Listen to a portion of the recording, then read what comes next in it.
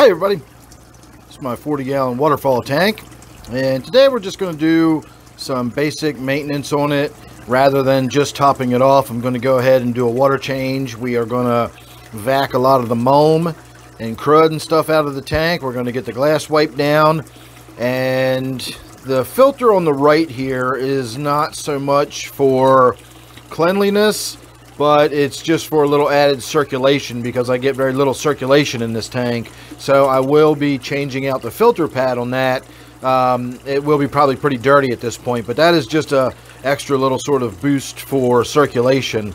The pump that pumps the water up to the top so it can water fall back down used to have a filter in front of it but I switched it over. I put a bigger pump and I never got around to putting any kind of filter housing or anything on it. And so it's literally just the open face of an aquarium pump or a, a fountain pump. And so it's probably got a bunch of crud stuck to the front grate of that. In fact I can see from here it's got a floating batch of Java Windelov stuck to the front of it. So I'll be getting in there and cleaning that off but I wanted to discuss the idea that I've touched on before about what constitutes a dirty tank. So we are going to do the before and after, but we are going to also look at the process of getting this tank cleaned out. You can probably tell there's a bunch of mulm and crud and stuff down at the bottom of the tank. I'm trying to do this without scaring the fish too much. Don't often get too good of a look at my there, just kind of hanging out. It's usually darting and dashing around the tank.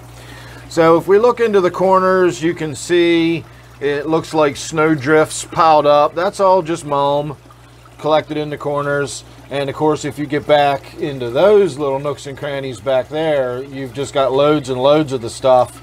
You can see it just settles down like dandruff all over everything. It's all in the plants there.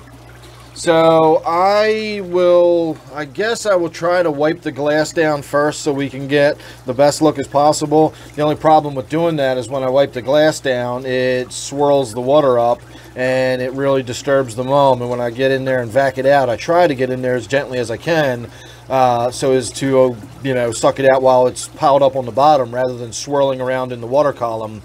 So we'll see. It's not that dirty, so you can still probably see what's going on. You don't need to see fine detail when I'm vacuuming the mulm out of there. As long as you can see what's going on, you'll get a pretty good idea. So we'll probably go ahead and just follow my normal routine. Uh, one last note I want to make before we get started is the water sprite that I put in here recently. is doing well and it is sending new shoots up and it is recovering just fine. That is the water sprite that just recently got uh, very cold overnight. It was sitting in the frozen water. I'm not going to get into a discussion about that again, but that is that water sprite. And lastly, before we get started, just so we can discuss the idea of what a dirty tank is, you just got to see what all of that looks like and all that mulm and all that crud and everything that's built up on the bottom. Well, that's what my nitrates in this tank look like, which are I'm going to say under five. It's virtually none. Very, very little color change at all to the water when I did my test. So just because you see a lot of mulm doesn't mean you've got high nitrate. And just because you've got a nice, bright, clean, shiny tank doesn't mean you have low nitrate. I've got other tanks that look a lot cleaner than this, but have a dark, dark red vial. So cleanliness in an aquarium is not necessarily what you think just by looking at it. So anyway, let's go ahead and get started. We will say there's your before.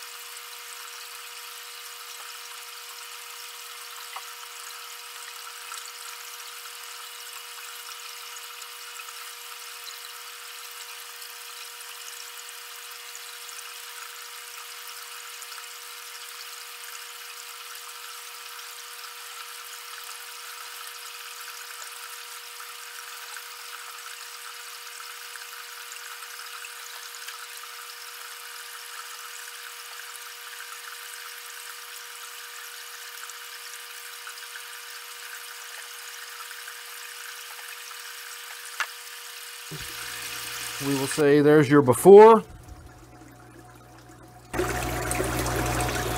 And there's your after.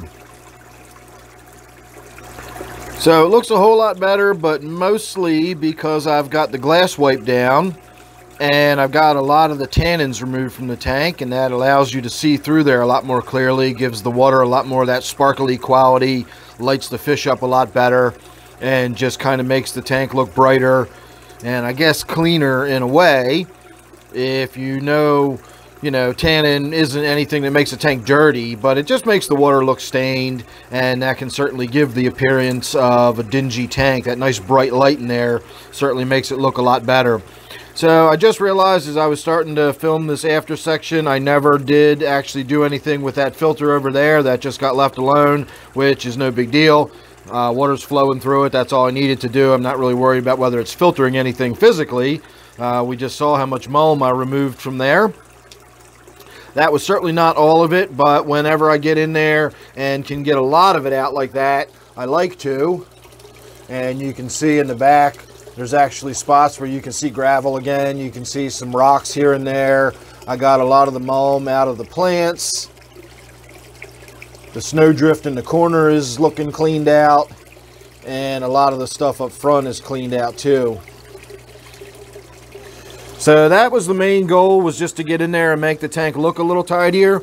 As you saw, the nitrate level in the tank was not very high. I've got a fair amount of growth going on in this tank, mainly my daylily there and the bird's nest fern you can see on the right.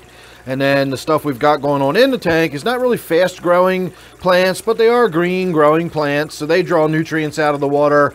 And then of course I've got all that algae, all that cyanobacteria. I've got stuff growing up here. I've got duckweed. So there is a lot of vegetation going on in this tank that pulls uh, the nutrients and stuff out of there. And it's not a heavily stocked tank. So despite all that mulm and all that stuff that made it look cruddy, there was no real reason to get in there and do the water change other than making the tank look a little tidier.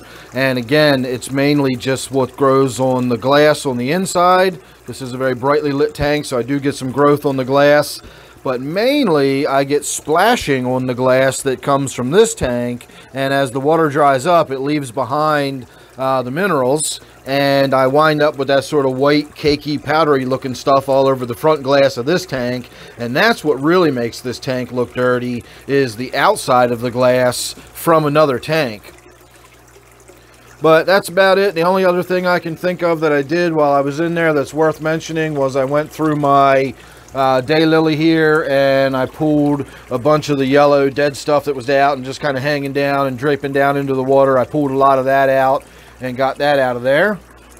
Just to give you an idea of the depth of all this, my daylily actually sticks out further than the tank does from above the waterfall. And if you weren't aware of it, that the tank comes all the way back to here. That waterfall actually falls about halfway in the middle of that tank. It does not fall at the back of the tank at all. So fish have plenty of room to swim around here behind the waterfall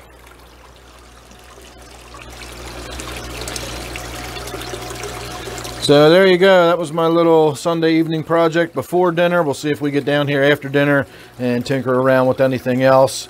In the meantime, I'm going to leave you with a look at my tilapia who's making an appearance over there in the corner. Not the best zoom in, but there you go. There's my spotted tilapia in my new world tank. So thanks for watching this one. Don't forget to subscribe. I'll see you real soon in the next one.